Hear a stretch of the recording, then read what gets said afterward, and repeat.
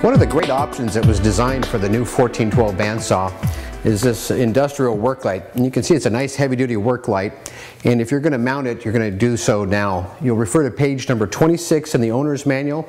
You'll take the light. There's four screws, four washers, and four nuts to install it. Let's go ahead and put it on now. Now that you've got the screws installed into the base, put your fingers over them so they don't pop out and gently locate it into position hold it in place. Sometimes it's easier to have a third hand when you're doing this. Next you'll take your washer onto each screw.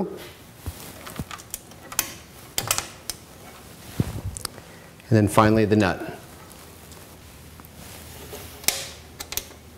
Now that you've got these installed finger tight, go ahead and snug them down with a standard Phillips screwdriver.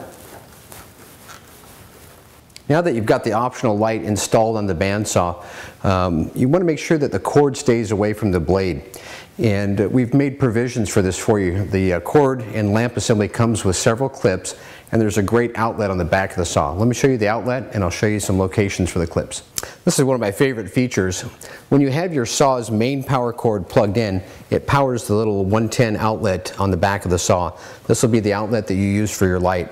And uh, I'll take the uh, clips and they have a, a, little peel and stick pad and locate one on the back right here to hold the wire and probably two across the top.